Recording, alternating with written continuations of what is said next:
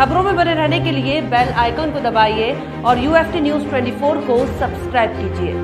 नमस्कार, आप देख रहे हैं यूएफटी न्यूज़ 24 मैं हूँ आपके साथ हर्षिता मिश्रा। पिछले सप्ताह कोतवाली क्षेत्र में आरती के मुनीम से हुई लूट की घटना का खुलासा पुलिस ने कर दिया है। इस लूट कांड के मास्टरमाइंड समेत तीन बदमाशों को पुलिस ने धर दबोचा। उनके पास से लूटी हुई सात लाख रुपयों की रकम समेत स्कूटी बरामद कर ली गई है। एसपी ने खुलासा करने वाली टीम को नगद पच्चीस हज़ार रुपयों की धनराशि पुरस्कार स्वरूप देने की घोषणा भी की है। आपको ज्ञात हो कि 27 जून को कोतवाली क्षेत्र में खोया मंडी के पास बाइक सवार बदमाशों ने आरती अजय शर्मा के मुनीम से सात लाख रुपए और स्कूटी लूट ली थी।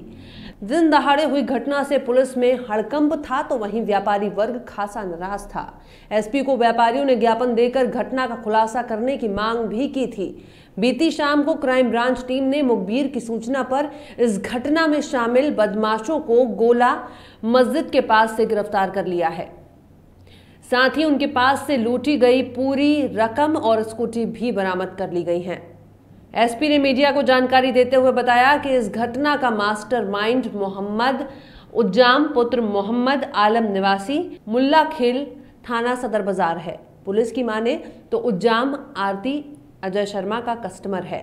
घटना वाले दिन अजय शर्मा का मुनीम उज्जाम से ही रकम लेकर उसे जमा करने जा रहा था। उज्जाम ने ही अपने साथी कुलदीप पुत्र रामचंद्र निवासी बहुजई तृतीय थाना सदर बाज़ार और जावेद पुत्र नफीस हुसैन निवासी मोहल्ला हदतफ थाना सदर बाज़ार को घटना में शामिल किया और उन्हें लूट करने को भेज दिया। यूएफटी न्यूज़ 24 को दिल्ली यूपी उत्तराखंड, बिहार, झारखंड, मध्य प्रदेश, हरियाणा और राजस्थान सहित कई राज्यों में रिपोर्टरों की आवश्यकता है।